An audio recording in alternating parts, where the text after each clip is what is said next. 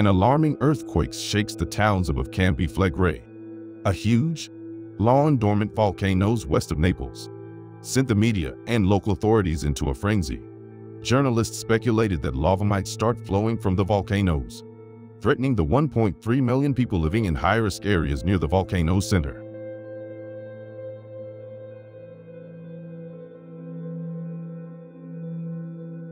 Volcanologists are calling for existing evacuation plans, which assume that an eruption can be predicted 72 hours in advance, to be updated to include the possibility of having to evacuate everyone once the eruption begins.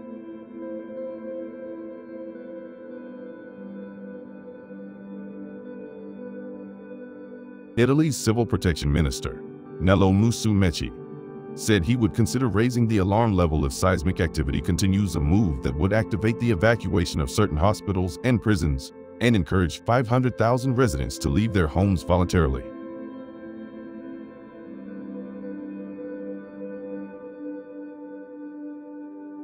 After several weeks of calm, another aftershock rocked the region, prompting the media to return to speculating about the possibility of magma rising to the surface. The magnitude 4.0 earthquake, and hundreds of others since then, have capped a period of the most intense seismic activity Campi Flegrei has seen in decades.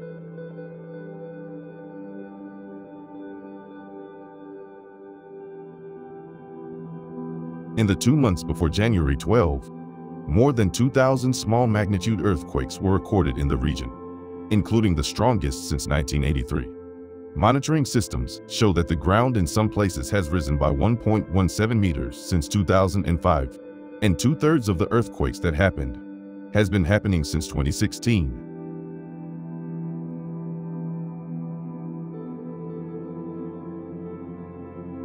Tensions among residents remain high because scientists do not know for sure what is happening beneath the surface. The scientific community agrees that shaking and uplift are signs of volcanic revival. But they struggle to reconcile two conflicting explanations for the prominence that have been debated for decades, leaving residents and researchers feeling uneasy.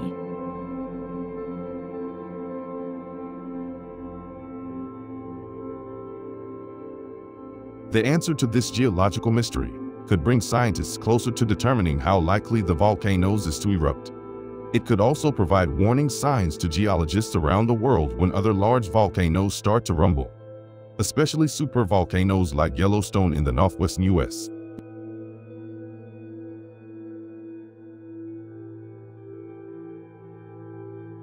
One model of shallow magma holds that seismicity and bulging are caused by magma pushing to break through the surface, causing explosive eruptions, and that magma outflow is likely in the near future. Alternatively, in the hot fluid model, hot steam and gases released by magma located deep underground are the cause.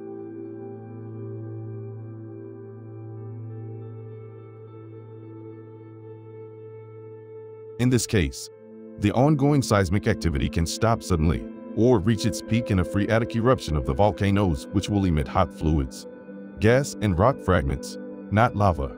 This would pose less of a threat, although it would still be deadly because so many people live nearby.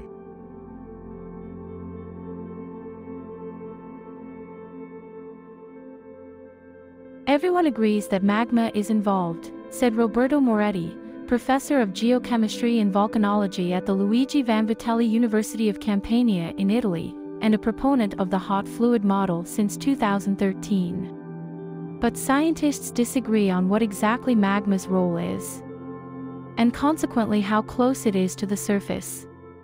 Moretti said,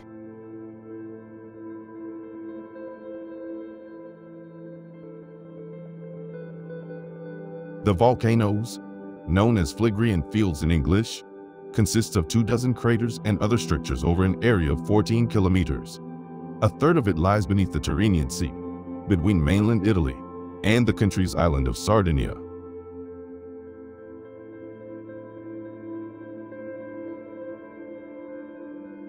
This volcano has been active for at least 80,000 years.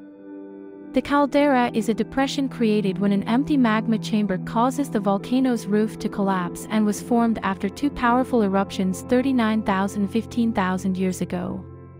The older disaster caused a volcanic winter in regions within 100 kilometers, sending ash as far away as Russia and suddenly cooling the climate worldwide.